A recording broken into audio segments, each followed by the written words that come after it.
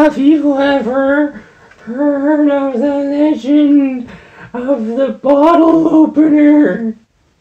A bottle opener sneaks into your house in the dead of night, okay?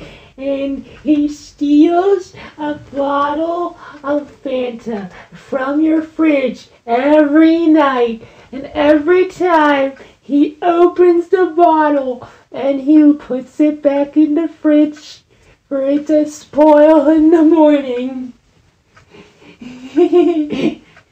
And have you heard of the legend of the croissant? It's it's the super amazing legend created by myself, Carl, and I am a Um,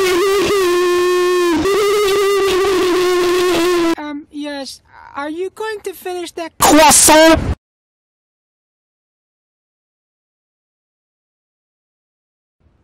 Knock plus six five five five five five five five five five five